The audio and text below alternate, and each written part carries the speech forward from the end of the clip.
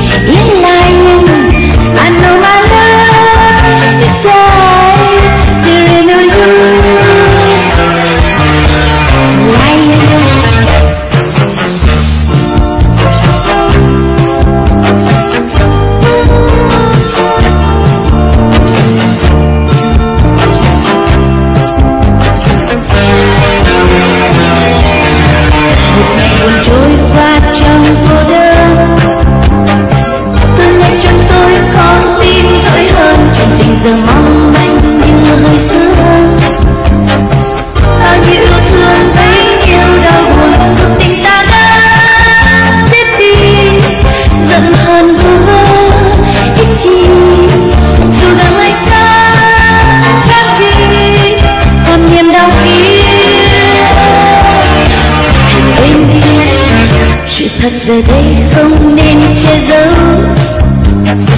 Ta không yêu